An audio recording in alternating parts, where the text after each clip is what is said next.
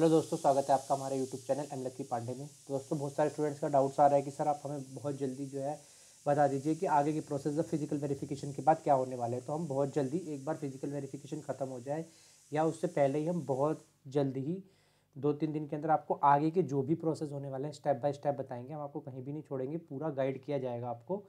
जो भी आगे के प्रोसेस होने वाले हैं कि ज्वाइनिंग लेटर का क्या होगा या अपॉइंटमेंट लेटर कैसा होता है, किस तरीके से आ सकता है क्या क्या उसके अंदर टर्म्स एंड कंडीशंस हो सकती हैं, वो सारी चीज़ों को हम आपको डिस्क्राइब करेंगे, ठीक है? तो आपको बिल्कुल टेंशन लेने की ज़रूरत नहीं है। इस वीडियो में हम बेसिकली मंगलागिरी की जो फ़िज़िकल वेरिफिकेशन निकली थी, उसके ऊपर बात करने वाले हैं डिटेल में मतलब मंगलागिरी एम्स के ऊपर हम डिटेल में जानने वाले हैं कि किस तरीके से जो कैंडिडेट्स हैं मंगलागिरी पहुँच सकते हैं अपना वेरिफिकेशन करवाने के लिए, ठीक है? और अकोमोडेशन फैसिलिटीज़ क्या होने वाली है? एक्चुअल जो सैलरी पैकेज होने वाला है एम्स मंगलागिरी के अंदर क्या मिलने वाला है, ठीक है? और वहाँ पे हम कैसे पहुँच सकते हैं? मतलब जो भी हमारा ट्रैवल का टाइम पीरियड लगेगा, वो किस तरीके से हम उसको कवर कर सकते हैं? प्लस हम मंगलागिरी के बारे में थोड़ा सा डिटेल में देखेंगे कि कब ये स्टार्ट वगैरह हुआ था, किस तरीके के वहाँ पे फैसिलिटीज़ इस समय अवेलेबल है। और आगे का जो फर्दर प्लान है ग्रोइंग जो चल रहा है, क्योंकि मंगलागिरी हमें पता ही है, अभी चल ही रहा है अंडर डेवलपिंग है। कुछ एरिया उसका अंडर डेवलपिंग है तो वो किस तरीके से, कब तक पूरा होके कितना डेवलप कर जाएगा और क्या हमें वहाँ पे स्कोप रह सकता है, अगर हम वहाँ पे जाके काम करते हैं तो। ठीक है? तो इसके बारे में हम डिटेल में डिस्कस करेंगे। तो सबसे पहले स्टार्ट कर लेते हैं कि हम मंगलागिरी कैसे पहुँच सकते हैं। अच्छा मैं एक चीज़ बताना चाहूँगा कि जैसे हम ऋषिकेश की वीडियो थी तो उसके अंदर मैंने बता दिया था कि नियरेस्ट जो रेलवे स्टेशन है, हरिद्वार है तो स्टूडेंट बोलने लग गए कि, सर, हरिद्वार तो नहीं है, वहाँ पे दूसरा स्टेशन है। तो ऑफकोर्स एक तो मैंने वहाँ पे फिर कमेंट में पिन भी कर देता हूँ, अगर कोई चीज़ ऐसी होती है। मैं आपको ना सारे स्टूडेंट्स को कवर करता हूँ हर स्टेट से कि हमें नहीं पता कि कौन सा स्टूडेंट कहाँ से आ रहा है, ठीक है? इसलिए हम कोशिश करते हैं कलेक्टिवली एक ऐसी प्लेस बताने के लिए आपकी, जहाँ पे सबके लिए इजली एसेसेबल हो।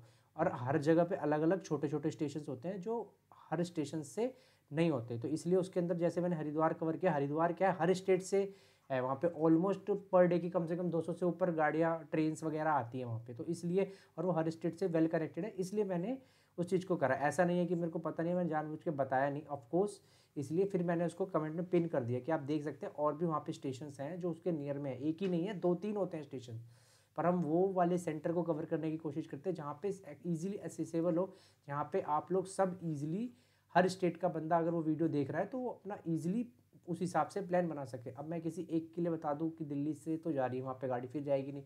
फिर वो कहेंगे, सर, ये तो गाड़ी जा नहीं रही, आपने तो गलत बताया। तो इसलिए हम कलेक्टिवली लेके चलते हैं। पर इसलिए मैंने सोचा कि इसके अंदर तो मैं दोनों ही चीज़ कवर कर दूँगा। एक साथ कोई कोई डाउट रह ना जाए कि क्या है। तो सबसे पहले जैसे हम पहुँचे तो हमारे पास ऑफकोर्स तीन सोर्स हो जाती है bus train and plane plane से स्टार्ट करते हैं तो हमारे पास जो नियरेस्ट जो एयरपोर्ट आ रहा है, वो आ रहा है विजयवाड़ा। विजयवाड़ा हमारे पास एक नियरेस्ट जो हमारे पास एम्स मंगलागिरी के लिए, जो आ रहा है एयरपोर्ट वो है विजयवाड़ा। विजयवाड़ा से आपको almost around thirty to forty minutes लग जाएँगे। इसमें दिखा रहा है एग्जैक्ट मैं आपको बता रहा हूँ थर्टी टू फोर्टी मिनट्स लग जाएँगे। आप आराम से एम्स मंगलागिरी पहुँच सकते हैं। अगर आप फ़्लाइट से आते हैं तो। वहाँ से आप फ़्लाइट बुक कर सकते हैं। अपने हिसाब से, अपने स्टेट से देख के। अब जैसे फ़्लाइट की बात होगी तो कई स्टेट्स में फ़्लाइट्स नहीं चलती हैं, बहुत दूर चलती हैं। तो इसलिए हम उस हिसाब से कवर कर लेते हैं कि जो एग्जैक्टली जो सेंटर है जहाँ पे ऑलमोस्ट हर स्टेट से जो है फ़्लाइट्स आती हैं। तो विजयवाड़ा में ऑलमोस्ट आती हैं, ठीक है? प्लस विजयवाड़ा के आसपास में हैदराबाद भी है, ठीक है? जैसे कि आप देख सकते हैं विशाखापट्टनम है, तिरुपति है तो यहाँ पे भी फ़्लाइट्स वगैरह आती है। तो जिसको जो नियर लगता है और जो कन्वीनियंट लगता है वो फॉलो कर सकता है, ठीक है? बाद में कि जो सबसे नियरेस्ट है, मैं बता रहा हूँ, वो सबसे नियरेस्ट क्या है? विजयवाड़ा है, विजयवाड़ा एयरपोर्ट है जहाँ पे आप आराम से जा सकते हैं। वहाँ से आपको ऑलमोस्ट जो यहाँ पे दिख रहा है तो डिस्टेंस बहुत ही बहुत माइन्यूट डिस्टेंस है वहाँ पे। ठीक है? जो आप थर्टी मिनट्स में थर्टी से फोर्टी मिनट्स में ईजिली कवर कर लेंगे एस मंगलागिरी के लिए। अब जो आ जाता है हमारा ईजिली कन्वीनियंट वे जो आ जाता है जो सबसे ज़्यादा ईजिली और कन्वीनियंट वे है हमारा वो है Uh, क्या कह सकते हैं बाय ट्रेन तो अगर हम ट्रेन से देखें तो ट्रेन से मैं आप इसके अंदर सारी चीज़ें कवर कर दे जो ईजिली एसेसिबल है वो है विजयवाड़ा ही रेलवे स्टेशन है। ठीक है? मतलब विजयवाड़ा रेलवे स्टेशन पे क्या है कि ऑलमोस्ट 170 ट्रेन से हर स्टेट से रेगुलर आती है। 170 ट्रेन वहाँ पे सेंटर है, वो जंक्शन है, विजयवाड़ा जंक्शन तो यहाँ पे हर स्टेट से आती है। उसके अलावा जो एम्स मंगलागिरी है, उसके जो नियरेस्ट जो हमारा रेलवे स्टेशन पड़ जाता है, वो मंगलागिरी रेलवे स्टेशन भी है, ठीक है? मंगलागिरी रेलवे स्टेशन है प्लस एक स्टेशन और है, जिसको हम बोलते हैं कोलानुकोंडा। कोलानुकोंडा जो रेलवे स्टेशन है, वो भी बहुत ज़्यादा नियर है। कोलानू कोंडा जो है, वो भी अराउंड टू पॉइंट एट के समथिंग किलोमीटर के आसपास ही है। मतलब आपको दस से मिनट मैक्सिमम से पंद्रह मिनट में आप पहुँच जाओगे। और जो मंगलागिरी का भी रेलवे स्टेशन है, वो भी बहुत पास है। ऑलमोस्ट इतना ही डिस्टेंस है, उसका भी तीन किलोमीटर के आसपास का है। तो मतलब वही है, दस से पंद्रह मिनट में आराम से आप पहुँच जाओगे यहाँ से, ठीक है? अब जो तो और जो मेन जो हमारे पे जंक्शन आता है वो आता है विजयवाड़ा, जो और सारे, हर अदर स्टेट से ट्रेन को कनेक्ट करती है। मतलब हम विजयवाड़ा आ सकते हैं, उसके बाद चाहे तो हम विजयवाड़ा से यहाँ से ट्रेन ले सकते हैं टैक्सी ले सकते हैं बस लेके यहाँ जा सकते हैं। और अगर आपकी जो स्टेट है, वहाँ से अगर ट्रेन ये कोलानू कोंडा या मंगलागिरी तक आती है, जो उसका लास्ट सेंटर ही है तो आप ये भी ले सकते हैं, ये बहुत ज़्यादा और पास पड़ जाता है। तो इसको ध्यान रखिएगा कि सबसे जो नियरेस्ट स्टेशन है, वो है मंगलागिरी, कोलानुकोंडा, जो टू पॉइंट एट या समथिंग थ्री किलोमीटर के आसपास है। अब जो ऑल इंडिया से असेसेबल जो हमारा रेलवे स्टेशन है, वो है विजयवाड़ा, जो कि पूरी ऑल ओवर इंडिया के हर स्टेट से कनेक्टेड है। तो आप उसको विजयवाड़ा से लेके आगे आ सकते हैं, कोई दिक्कत आपको नहीं होगी। सेम जो गोज विथ जो हमारा बस के साथ भी जाता है। जैसे स्टूडेंट्स बस से ट्रैवल करना चाहते हैं कोई तो बस के साथ भी सेम जाता है कि मंगलागिरी बस स्टैंड है, ठीक है? जो कि नियर है क्या कह सकते हैं मंगलागिरी, एम्स के। प्लस जो ऑल इंडिया एसेसेबल है वो है विजयवाड़ा। विजयवाड़ा आके विजयवाड़ा से भी मंगलागिरी आ सकते हैं या विजयवाड़ा से सीधा आप एम्स मंगलागिरी भी आ सकते हैं, उससे कोई दिक्कत नहीं है। लेकिन अगर आपकी बस डायरेक्टली मंगलागिरी आ रही है तो आप डायरेक्टली मंगलागिरी आ सकते हैं और मंगलागिरी बस स्टेशन से भी ऑलमोस्ट तीन किलोमीटर के आसपास का एग्जैक्ट सेम डिफरेंस पड़ जाता है। और विजयवाड़ा जो है ईजिली असीसेबल जो है ऑल ओवर इंडिया का बस स्टैंड है वहाँ पर आप वहाँ पर आके भी आप इजीली पहुँच सकते हैं और कोई दिक्कत नहीं है। तो विजयवाड़ा बस स्टैंड भी एक बस स्टैंड हो जाता है जो all India accessible bus stand है मंगलागिरी के अंदर। ठीक है? मतलब आंध्र प्रदेश के अंदर जो हमारा एक्चुअल में, जहाँ पे हमारा मंगलागिरी जो है लाई करता है, जहाँ पे हम जा सकते हैं। तो ये तीन सोर्स थे जिससे पहुँच सकते हैं। उसके अलावा अगर आपका कोई भी डाउट हो इससे रिलेटेड कि सर और भी कुछ तो आप हमसे पूछ सकते हैं कमेंट सेक्शन में। प्लस अगर कोई चीज़ यहाँ पे मैंने मिस कर दी है, कोई रेलवे स्टेशन मिस कर दिया है, या कोई बस मैंने मिस कर दिया है मतलब बस स्टैंड मिस कर दिया जो और भी नियरेस्ट है तो आप हमें कमेंट सेक्शन में ज़रूर बता सकते हैं। ठीक है, इसमें कोई डाउट नहीं होता। हम सारे इंसान ही कोई भी गलती कर सकता है।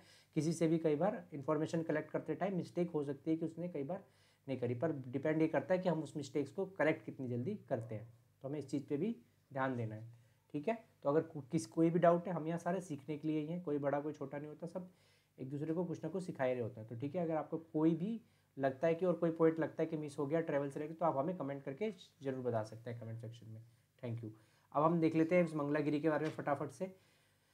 तो जैसा कि आप देख सकते हैं, एम्स मंगलागिरी जो है जो हमारा आपको मैं थोड़ी डिटेल बता देता हूँ। जो हमारा एम्स मंगलागिरी है, वो ऑलमोस्ट वन एट्टी थ्री एकड़ के आसपास में फैला हुआ एरिया है पूरा का पूरा, ठीक है? देख सकते हैं आप, और इस पर काम चल रहा है, और ये टू थाउज़ेंड फोर्टीन के अराउंड में जो फोर फ़ेज़ एम्स जो स्टार्ट होता है उसके हुए थे। ये देखिए, मैं आपको पूरा प्रॉपर एम्स का ही वेबसाइट से दिखाता हूँ। तो देख सकते हैं ये प्रॉपर है एम्स की वेबसाइट जहाँ पे आंध्र प्रदेश एम्स मंगलागिरी के बारे में बताएगा। और देखिए, यहाँ पे क्या क्या फैसिलिटीज़ हैं, मैं आपको सारी बता देता हूँ। तो यहाँ पे क्या क्या होने वाला है और क्या क्या चल रहा है पूरा मैप प्लान है। इसी के अकॉर्डिंग सारी चीज़ें चल रही हैं, वहाँ पे काफ़ी चीज़ें हो चुकी हैं और काफ़ी चीज़ें वर्क पे लगी हुई है।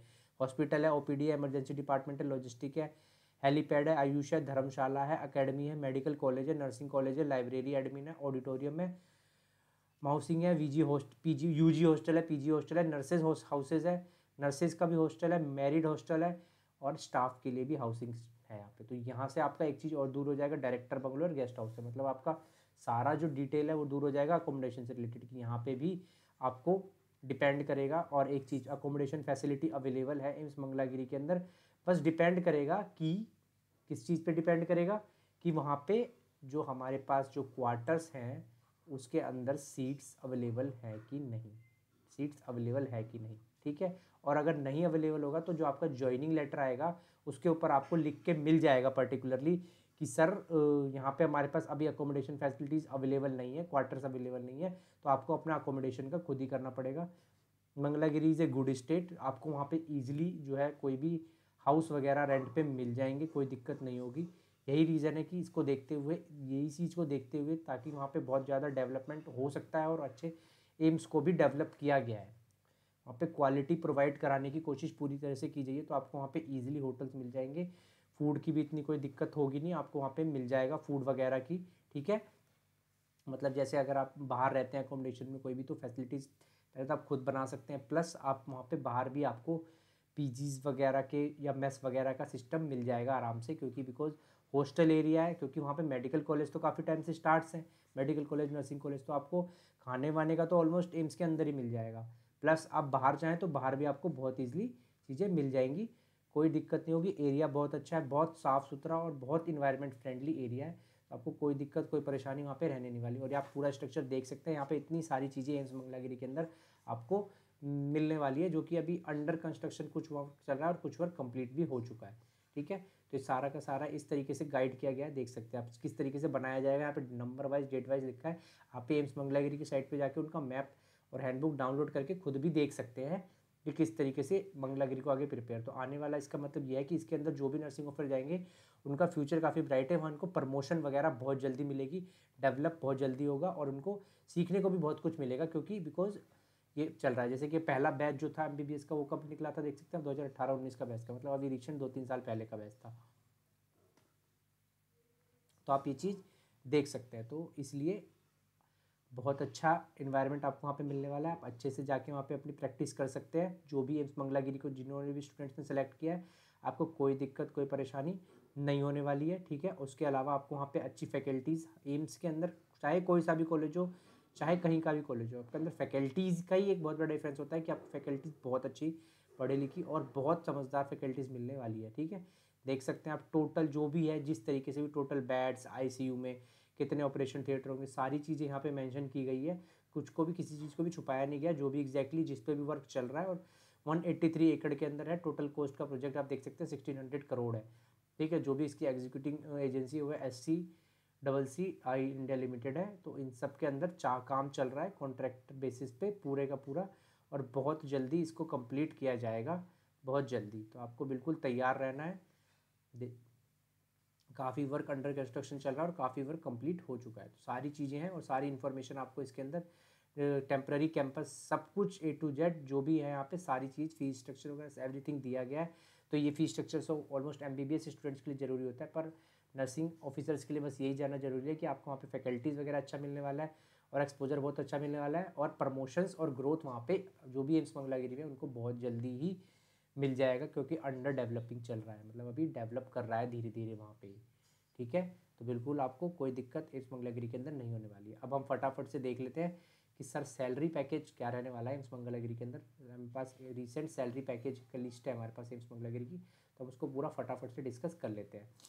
तो जैसा कि आप देख सकते हैं बेसिक पे इम्स मंगलागिरी के अंदर आपको जो रहने वाला है वो रहने वाला है forty thousand forty four thousand nine hundred Y city के अंदर ये लाई करता है। आपका जो डी ए रहने वाला है, वो रहने वाला है thirteen thousand nine hundred, thirty one percent के हिसाब से। It will be thirty four percent जब तक आपकी ज्वाइनिंग होती है तो फिफ्टीन थाउज़ेंड हो जाएगा। मैं हर वीडियो में कहता हूँ। और एच आर ए जो है हमारा, ये रहने वाला है एट थाउज़ेंड एट्टी टू, ठीक है? टी ए फिक्स है, ये थर्टी सिक्स थाउज़ेंड ही रहने वाला है। One thousand one hundred sixteen ये भी फिक्स है डी आर फिक्स है।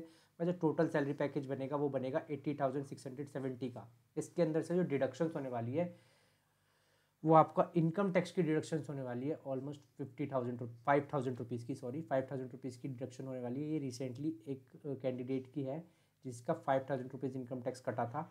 उसके बाद ये टेन परसेंट जो बेसिक कटता है फिक्स है, उसका सी जी एस कटता है वहाँ पे सिक्स फिफ्टी रुपीज़ और यहाँ पे सी दूसरे टैक्स के बजाय जो हम एक सिक्सटी रुपीज़ जो है पी एम केयर फंड में करते हैं, उसके नाम पे प्रोफेशनल टैक्स कटता है टू हंड्रेड रुपीज़ का। डिफरेंट इसलिए लिखा है क्योंकि कई जगह ये नहीं होता है। इस मंगलागिरी के अंदर ही टू हंड्रेड रुपीज़ का प्रोफेशनल टैक्स कटता है, ठीक है? तो इन सारी चीज़ों को मिला के जो आपका पैकेज बनता है, वो बनता है sixty eight thousand eight hundred eighty five का बनता है, अगर आप एम्स मंगलागिरी के अंदर हैं। तो it will be sixty eight plus इसमें से हो सकता है जब आपकी ज्वाइनिंग हो तो कुछ हो सकता है डिडक्ट कम हो, जैसे कि इनकम टैक्स में हो सकता है, कुछ कम हो या बाद में भी कटवा सकते हैं, कोई दिक्कत नहीं होगी। तो आपका ऑलमोस्ट सैलरी पैकेज यहाँ पे देखें तो ऑलमोस्ट ऑलमोस्ट तक सेवेंटी के सेवेंटी के के आसपास बन जाएगा प्लस सिक्सटी के प्लस है तो सिक्सटी के प्लस सैलरी पैकेज आप एम्स मंगलागिरी के अंदर जाते हैं तो आपको मिलने वाला है। सिक्सटी के सिक्सटी एट के प्लस सिक्सटी एट के प्लस सैलरी पैकेज होगा एम्स मंगलागिरी के अंदर, जो भी जिनकी जो है नर्सिंग, जिन भी नर्सिंग ऑफिसर्स की ज्वाइन होने वाली है मंगलागिरी के अंदर, उनका जो सैलरी पैकेज है वो sixty eight thousand eight hundred eighty five के अराउंड में अप्रॉक्सीमेट इतना लाई करेगा ही करेगा। ठीक है? इससे ऊपर ही रहेगा। ठीक है? ये हमने ऑलमोस्ट मैक्सिमम डिडक्शन तक ले लिया है तो आपको इतना पैकेज तो मिलेगा ही मिलेगा फिक्स है।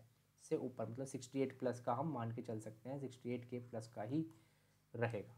Thank you thank you so much